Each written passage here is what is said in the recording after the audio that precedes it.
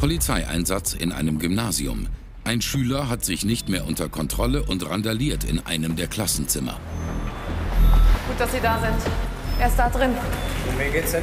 Axel, Axel Wittig, einer meiner Schüler, 16 Jahre alt. Er ist da drin und rastet gerade total aus. Oliver Groß, ich bin der Schulleiter. Guten Tag. Ich habe Sie angerufen. Müssen wir noch irgendwas wissen, bevor wir reingehen? Ist der Junge bewaffnet? Keine Ahnung, ich, ich glaube nicht. Ich weiß auch nicht, warum er jetzt so ausrastet. Ich wollte nach der Stunde nur mit ihm über seine Noten reden und da ist er völlig durchgedreht. Gehen Sie bitte auf die Seite. Mann! Hey, ganz ruhig, Junge, komm. Also ihr geht jetzt am besten mal brav zum Bus. Ja, los, ab jetzt nach Hause. Bitte tun Sie ihm nicht weh. So, du bleibst das nicht. Reagieren alle Ihre Schüler so, wenn Sie mit ihnen über die Noten sprechen?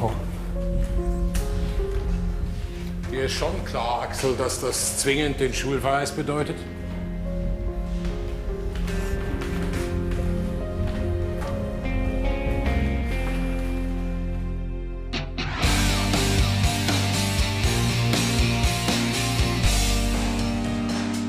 Axel Wittig hat sich in der Zwischenzeit ein wenig beruhigt. Im Büro des Schulleiters wartet er auf das Eintreffen seines Vaters, der zur Verstärkung Rechtsanwältin Benita Brückner mitgebracht hat. Ja. Bitte schön. Mann, Axel, was ist passiert? Oliver Groß, ich bin der Schulleiter. Sie sind aber nicht Axels Mutter? Guten Tag, nein. Benita Brückner, ich bin die Rechtsanwältin von Axel Wittig. Na super. Hören Sie, Herr Wittig. Axel macht seit Monaten nur Probleme, aber heute ist er endgültig zu weit gegangen. Er hat einen ganzen Klassenraum demoliert und die Kollegin Schütt hier direkt bedroht. Was? Ich habe ihn daraufhin vom Unterricht ausgeschlossen. Und es ist mir ziemlich egal, dass Sie Ihre Anwältin gleich mitgebracht haben. Ihr Sohn fliegt auf jeden Fall von der Schule. Wissen Sie denn, warum Axel so ausgerastet ist? Keine Ahnung. Axel war in letzter Zeit häufig aggressiv, aber nicht so. Und heute wollte ich mit ihm nur über seine Noten reden, weil die sind gelinde gesagt miserabel. Und sein Verhalten ist absolut unentschuldbar. Herr Wittig, Sie werden den entstandenen Sachschaden ersetzen müssen. Anzeige wegen Sachbeschädigung habe ich bereits erstattet und den entsprechenden Strafantrag gestellt. Natürlich werde ich Ihnen den Sachschaden ersetzen, aber ein Verweis, eine Anzeige? Ich bitte Sie, Herr Groß. Wissen Sie, ich habe mich vor einem halben Jahr von Axels Mutter getrennt und die Trennung war nicht leicht für ihn. Das ist jetzt eine schwierige Zeit und der Umzug war vielleicht auch keine gute Idee. Axel musste völlig neu anfangen. Und offensichtlich fällt ihm das nicht leicht. Ich bitte Sie doch nur ums Verständnis für Axels schwierige Phase im Augenblick. Ich werde mit ihm reden und die Sache klären. Versprochen. Es bleibt trotzdem beim Schulverweis. Die Kollegin Schütt hier hat auch Axels Mutter bereits darüber informiert. Nein, das darf doch nicht wahr sein. Ich kläre das mit meinem Sohn. Meine Ex könnte da getrost raushalten. Nein, kann ich nicht. Ich muss beide sorgeberechtigten Eltern informieren. Komm, lass dir gehen. Ich werde Widerspruch gegen den Schulausschluss einlegen. Guten Tag.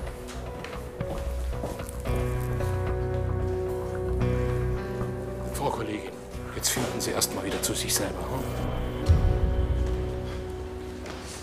Mann, ich hasse dich! Axel, warte! Frau Brückner, gibt es eine Möglichkeit, gegen den Schulverweis vorzugehen? Ja, ich werde Widerspruch einlegen und Antrag auf einstweiligen Rechtsschutz stellen. Damit können wir erreichen, dass Axel erstmal nicht von der Schule verwiesen wird und keinen Stoff versäumt. Okay, machen Sie das. Ja, und der nächste Schritt wäre dann eine Anfechtungsklage. Allerdings weiß ich nicht, ob das unser Problem wirklich löst. Warum nicht? Hauptsache, er fliegt nicht von der Schule.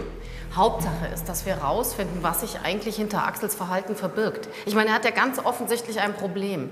Und solange wir das nicht gelöst haben, ist es nur eine Frage der Zeit, bis es zum nächsten Vorfall und vielleicht zum endgültigen Schulverweis kommt. Ich kann es versuchen, aber ich bin nicht besonders guter Dinge. Axel spricht seit einiger Zeit nicht mehr mit mir. Warum nicht? Naja, er gibt mir die Schuld an der Trennung. Warum lebt der Junge dann bei Ihnen und nicht bei seiner Mutter? Ja, weil ich das so wollte. Ich wollte ihn nicht auch noch verlieren. Und da haben meine Ex und ich entschieden, dass Axel zu mir kommt.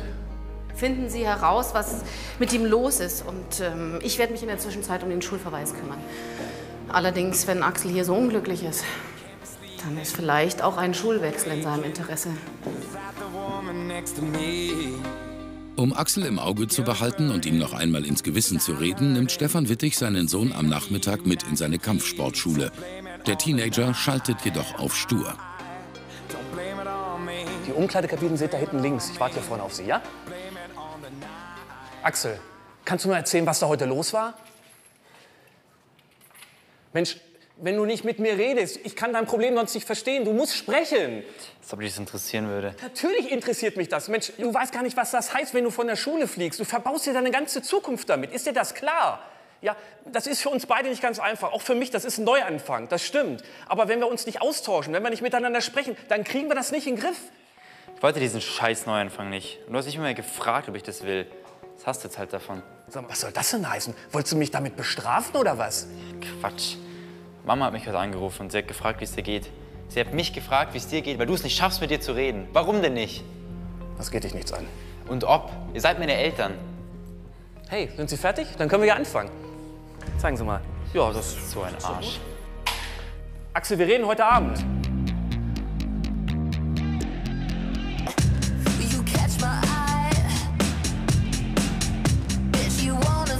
Am nächsten Tag gerät Axels Klassenlehrerin Julia Schütz nach Schulschluss in große Gefahr.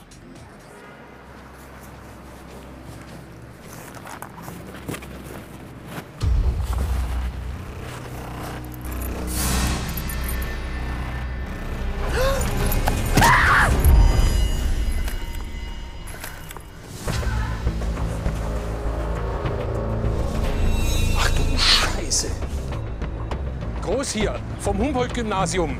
Meine Kollegin wurde verletzt. Ich brauche sofort einen Notarzt. Auf dem Parkplatz. Moment. Ja, ich bin auf dem Weg dorthin. Habt ihr gesehen, was mit Frau Schütt passiert ist? Keine Ahnung, wovon Sie Mitkommen.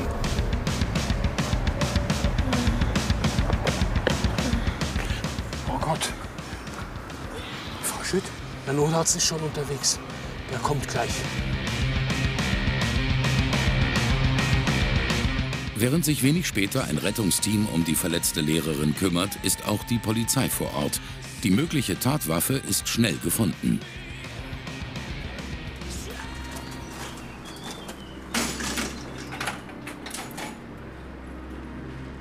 Schau mal, die habe ich da hinten in die Büsche gefunden. Nunchaku. Eine japanische Schlagwaffe. Himmels Willen. Und damit wurde Frau Schütt ins Gesicht geschlagen? Sie haben niemanden gesehen? Nein. Wie ist es mit euch beiden? Nee, wir haben nichts gesehen. Trotzdem muss ich euch bitten, mit aufs Präsidium zu kommen. Was? Wieso das denn? Ihr wart am Tatort und wahrscheinlich auch zur Tatzeit. Aber wir waren es doch nicht. Axel war's. Wie bitte? Ja, das stimmt. Wir haben gesehen, wie er weggelaufen ist. Es ist schon möglich, dass Axel das gewesen ist. Jedenfalls war er in letzter Zeit zunehmend aggressiv. Und es gab auch schon wiederholt Probleme zwischen ihm und Frau Schütt. Wegen dem waren wir doch gestern erst hier. Das ist doch der Junge, der das ganze Klassenzimmer auseinandergenommen hat. Allerdings, Und wo können wir ihn finden? ich hole Ihnen die Adresse. Ja, und sein Vater hat eine Schule für Kampfsport oder so. Stefan ahnt noch nichts von den neuesten Anschuldigungen gegen seinen Sohn.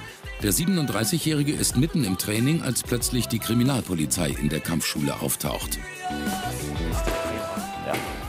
Machen Sie das. Schön die Rechte nehmen, sauber zuschlagen. Genau. Schönen guten Tag, der Herrn. Kann ich Ihnen weiterhelfen? Hallo, grüß Sie. Kriminaloberkommissar Schmidt und ich sind auf der Suche nach Ihrem Sohn Axel. Zu Hause haben wir ihn nicht angetroffen. Wissen Sie, wo er steckt? Warum? Was ist los? Machen Sie weiter und schlagen weiter ordentlich kräftig zu? Seine Lehrerin Julia Schütt wurde überfallen. Sie ist schwer verletzt und liegt im Krankenhaus. Und was hat mein Sohn jetzt damit zu tun? Und laut Aussage von zwei Zeugen war ihr Sohn der Angreifer.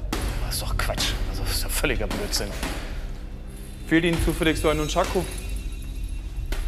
Nein, warum fragen Sie? Weil genau so ein Teil in Tatortnähe gefunden worden ist. Wahrscheinlich die Tatwaffe.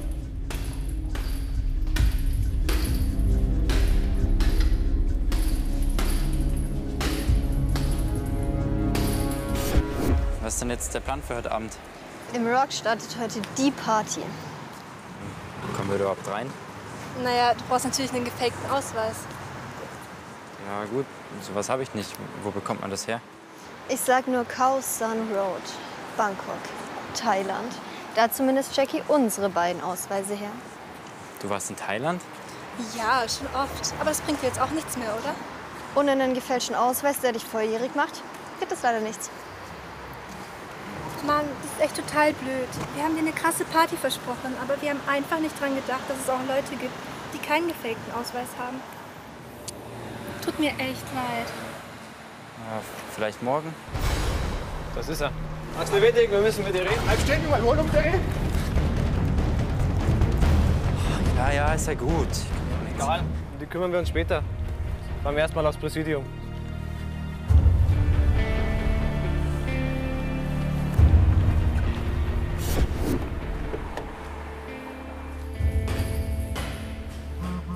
Kann man so nicht erreichen. Ja, bitte. Sehr gut. Ja. Okay, perfekt. Ja, wir kommen. Die Kollegen haben Axel Wittig aufgegriffen, sind auf dem Weg ins Präsidium. Was? Was ist los? Kann ich, kann ich mit ihm reden? Ist ihm was passiert? Am besten Sie begleiten uns.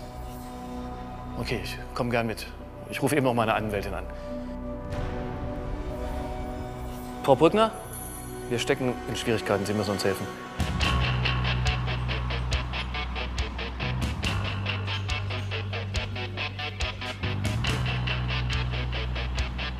Auf dem Polizeipräsidium bekommt Kriminaloberkommissar Erik Schmidt kein Wort aus dem verdächtigen Teenager heraus. Die Beweislast gegen Axel ist erdrückend. Mann, Axel, bist du verletzt? Bist du okay? Was wird Axel überhaupt vorgeworfen? Wir gehen davon aus, dass seine Lehrerin Julia Schütt überfallen und schwer verletzt hat. Ja, und wie kommen Sie ausgerechnet auf ihn? Axel ist seit einiger Zeit aggressiv. Und die beiden sind in der Vergangenheit schon öfter aneinander geraten. Jetzt droht ihm der endgültige Schulverweis und er macht seine Lehrerin dafür verantwortlich. Der Direktor der Schule hat schon alles bestätigt. Ja, es ist alles. Das ist ja höchstens ein Motiv, noch dazu ein sehr dünnes. Die Spuren auf der Tatwaffe an einem Chaco werden gerade untersucht. Außerdem hatte Axel über die Kampfsportschule seines Vaters Zugang zu so einer Waffe. Ich würde gerne unter vier Augen mit meinem Mandanten sprechen. Wie Sie meinen. Sie bitte auch, Herr Witt. Okay, Axel, ich warte dann draußen auf dich.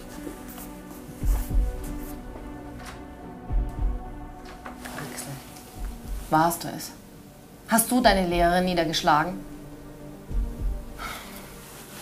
Mensch, Axel, ich will dir helfen. Ich bin deine Anwältin. Aber ich kann dir nicht helfen, wenn du nicht mit mir redest. Sind die Anwältin meines Vaters. Nein, dein Vater hat mich beauftragt, dir zu helfen. Also bin ich deine Anwältin. Und ich werde alles, was du mir erzählst, vertraulich behandeln und niemandem weitererzählen. Ich will nach Hause. Ich bin mir sicher, dass dein Vater dich mitnehmen kann, sobald du erkennungsdienstlich behandelt wurdest. Das ist nicht mein Zuhause. Ich will zurück zu meiner Mutter. Sie können doch nicht wirklich glauben, dass mein Sohn das war. So ein Chaco kann sich heutzutage jeder Idiot im Internet besorgen. Es gibt zwei Zeugen, Herr Wittig. Sie haben Ihren Sohn offensichtlich überhaupt nicht mehr im Griff, Herr Wittig. Und jetzt ist der Schulverweis Ihr allergeringstes Problem. Sie haben meinen Jungen auf dem Kieker. Was hat der Junge Ihnen getan? Was er getan hat? Sind Sie nicht mehr ganz bei Trost? Sie haben meine Kollegin nicht gesehen. Ich schon. Ihr Sohn ist ein Monster, Herr Wittig. Und anders kann man das gar nicht mehr bezeichnen. Das reicht, Herr Groß. Vielen Dank für Ihre Hilfe. Sie können jetzt gehen. Axel Wittig bestreitet die Tat. Und abgesehen von den zahlreichen Vermutungen, die es bislang zwar gibt, gibt es überhaupt keine Beweise für seine Beteiligung an dem Angriff. Ach, natürlich war es. Und übrigens habe ich Axels Mutter inzwischen genauestens über alles informiert. Auch das noch. Also wenn Sie nicht mehr gegen meinen Mandanten in der Hand haben, dann müssen Sie ihn gehen lassen. Und ich hätte gerne Akteneinsicht. Was passiert jetzt? Wo bringen Sie ihn hin? Ihr Sohn wird erkennungsdienstlich behandelt, aber ich bin mir sicher, dass Sie ihn anschließend mitnehmen können. Nicht wahr? Ja, ja. Es ist noch nicht überstanden, Herr Wittig. Sobald die Untersuchung der Tatwaffe abgeschlossen ist, werden die Herren wieder vor Ihrer Tür stehen. Für Benita Brückner ist die Haltung ihres Mandanten das größte Problem. Denn Axel will einfach nicht mit ihr kooperieren. Es gibt nur wenig, was die Arbeit eines Anwalts so schwierig macht wie ein Mandant, der schweigt. Meine Hoffnung ist, dass Axel vorhin bei der Polizei unter Schock stand. Aber jetzt, wo er zurück in seinem gewohnten Umfeld ist, endlich anfängt zu reden.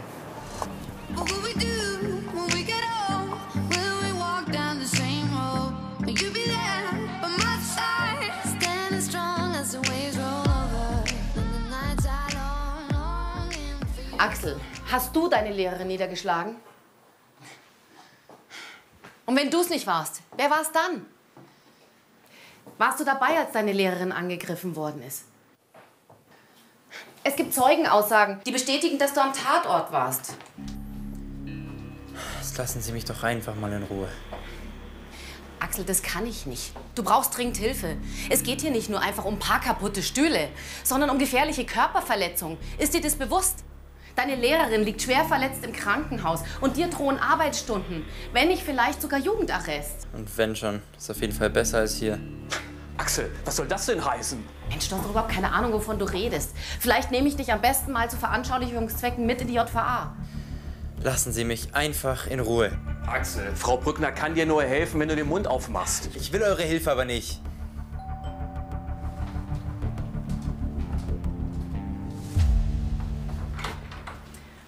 Der Schuldirektor hat angerufen und die Polizei auch. Ja, was um Himmels Willen ist denn passiert? Wie geht's Axel? Gut, Axel geht's gut. Lüg doch nicht. Bis jetzt habe ich dir auch geglaubt, bis ich diesen Anruf bekommen habe.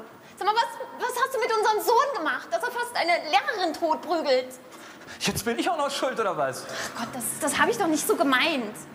Mama, Axel, mein Großer, was ist denn passiert? ich will zu dir. Darüber reden wir in Ruhe, ja? Ich will nicht reden, ich will hier weg.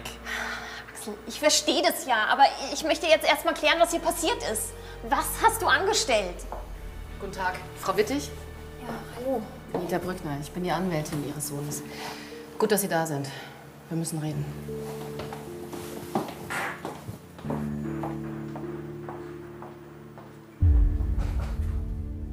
Noch steht Ihr Sohn lediglich unter Verdacht, seine Lehre im Krankenhaus reif geschlagen zu haben. Und die Polizei hat noch keine Beweise, aber das kann sich jeden Moment ändern. Und Axels Verhalten ist auch nicht gerade hilfreich. Bis Axel vor einem halben Jahr mit Stefan hierher gezogen ist. Da war er noch absolut normal und wirklich ein guter Schüler. Das scheint sich ja radikal geändert zu haben.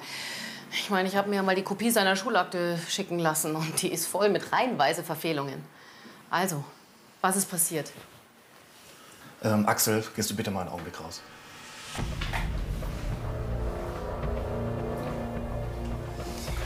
Also, wir, wir haben uns getrennt. Ich. Ich habe mich getrennt. Unsere gemeinsame Tochter Inga, sie, sie lebt bei mir und Axel bei Stefan. Ja, aber ohne dass Axel wirklich gefragt worden wäre, was er eigentlich will, wenn ich das richtig verstanden habe, oder? Er ist mein Sohn, verdammt. Ja gut, aber Sie können Ihre Kinder bei einer Trennung nicht behandeln wie ein Haus. Jeder kriegt die Hälfte, so funktioniert das nicht. Ich meine, man muss zusehen, dass die Kinder unter so einem Scheidungsverfahren so wenig wie möglich leiden. Es, es, es gibt doch noch gar kein Scheidungsverfahren. Warum nicht? Wir, wir sind noch nicht so weit. Dass die betroffenen Kinder unter so einer Trennung leiden, das ist ja unbestritten. Aber das Ausmaß, in dem Axel sich hier verändert hat, das ist wirklich besorgniserregend. Also was ist um Himmels Willen passiert, dass es den Jungen so aus der Bahn geworfen hat, dass er möglicherweise seine Lehrerin niedergeschlagen hat? Mit einer Schlagwaffe. Ich weiß es nicht. Frau Brückner, die Hintergründe unserer Trennung gehen auch Sie nichts an. Ja, aber Sie würden mir vielleicht helfen, Ihren Sohn zu unterstützen. Ihre Geheimniskrämerei hilft uns jetzt hier auch nicht weiter. Reden Sie mit Axel. Finden Sie raus, was mit ihm los ist. Ansonsten kann ich ihm nicht helfen, die Anschuldigungen gegen ihn zu entkräften. Okay, ich rede mit ihm.